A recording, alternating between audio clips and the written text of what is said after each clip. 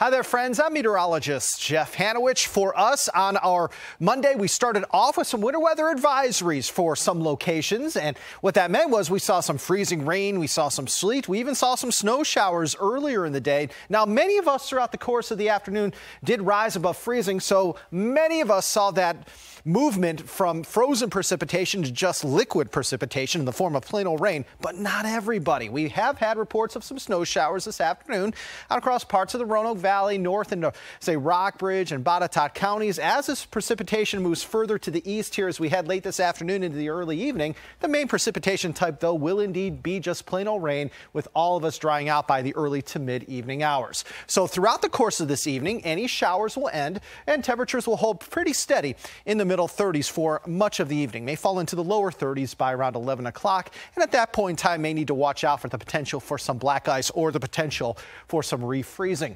For Tuesday, we're starting out with temperatures in the upper 20s and lower 30s with highs in the upper 40s. Overall for us on Tuesday, may see a little bit of leftover cloud cover early. Otherwise, on Tuesday, we're mainly sunny. We're not as chilly, but we are indeed breezy from time to time. All right, so for uh, the next uh, 24 hours or so, the main uh, kind of story weather-wise will be that skies are indeed going to clear out. It's not going to happen in the snap of a finger, but it is indeed going to happen.